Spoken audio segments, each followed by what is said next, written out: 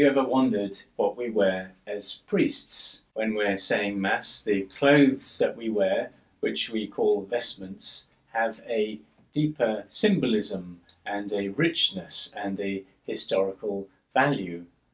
In this video clip, um, I'm just going to cover some of the aspects of what I wear as a priest when I'm saying Mass. So the priest gets ready in a room like this, which is called a sacristy. Priest gets ready to celebrate Mass, there are specific prayers that he would say, and there's a particular prayer for each part of the uh, vestments that he puts on. So as he goes through and gets ready to celebrate the Mass, he will say these particular prayers uh, as he puts each part on. Washing of hands.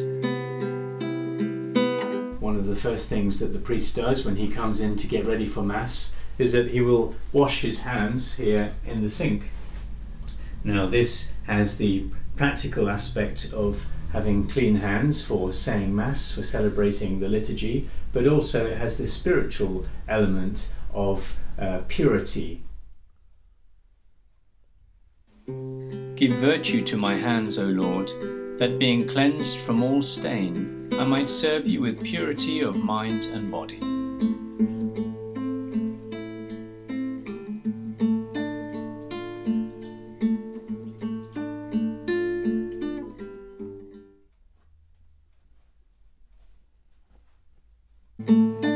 Amice. So the first thing that I put on is this, which is called an amice.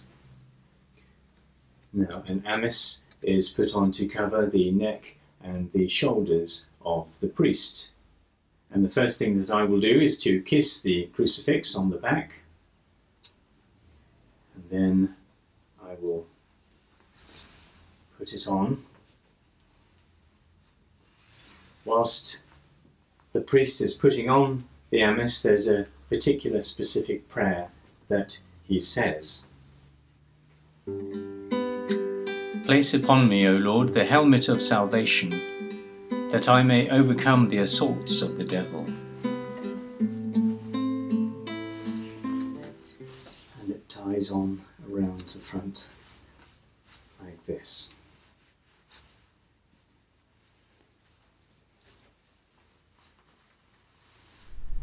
So the symbolism of an amice is um, to protect us from sin, um, because as you heard in the prayer, uh, it represents a helmet of salvation because it used to be worn as a hood covering the head, and so it has that symbolic element of protecting us against sin. Alb. The next item uh, or vestment that I wear is called an alb. Uh, an alb has its meaning from the word white, uh, in, has the symbolism of purity.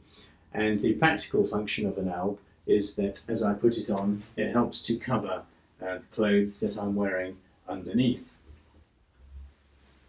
Make me white, O Lord, and cleanse my heart, that being made white in the blood of the Lamb, I may deserve an eternal reward.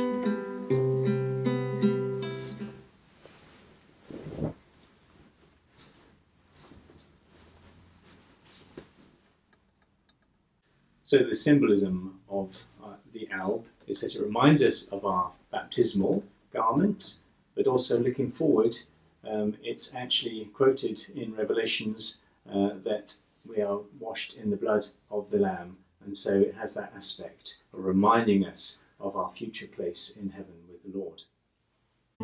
Cincture. Next item that I would put on is this which is called a cincture. And the cincture comes from the word meaning belt. Gird me, O Lord, with the cincture of purity, and quench in my heart the fire of concupiscence, that the virtue of continence and chastity may abide in me.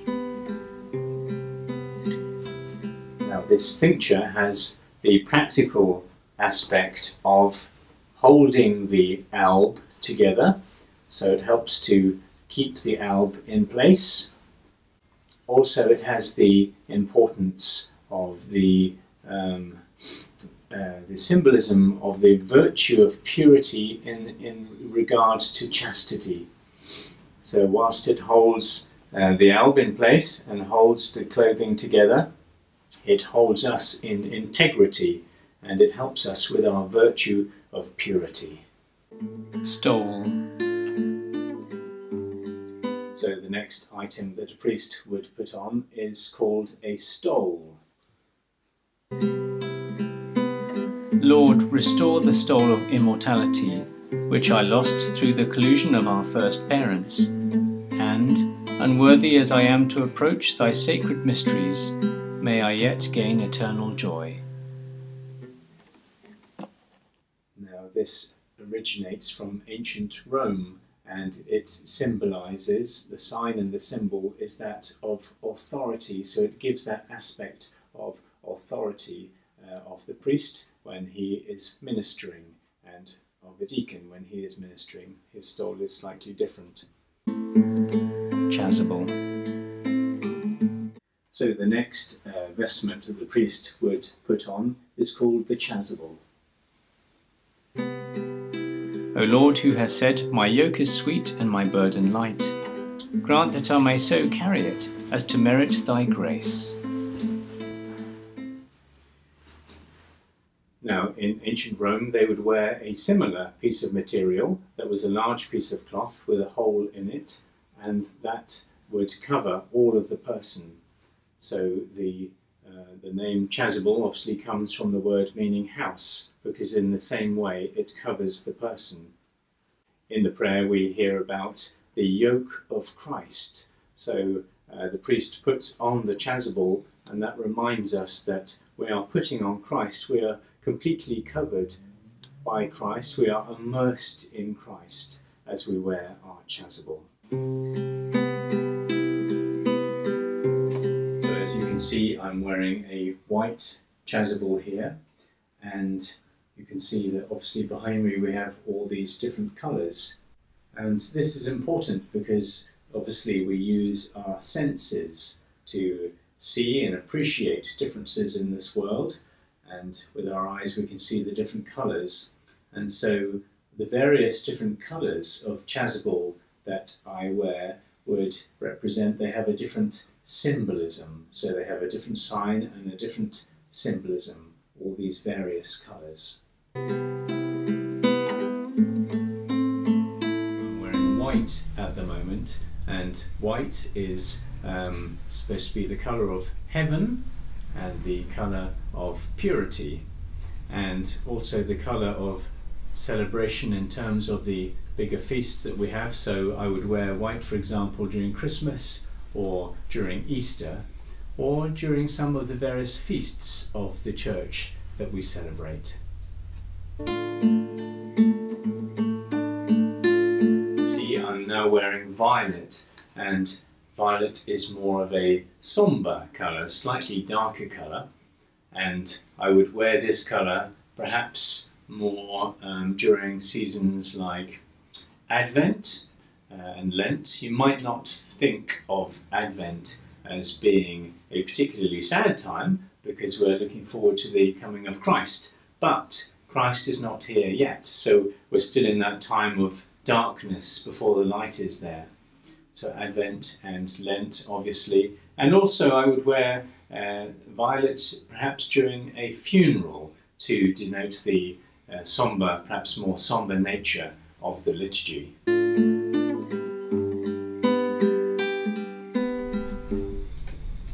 So red is the colour of blood and of fire. So I would wear red, for example, um, on feast days uh, where we celebrate some of the saints who are martyred, um, and also perhaps Good Good Friday and and Palm Sunday. Also, red represents the Holy Spirit, so I might wear red on Pentecost Sunday and also confirmation, where the Holy Spirit comes down upon those uh, to be confirmed.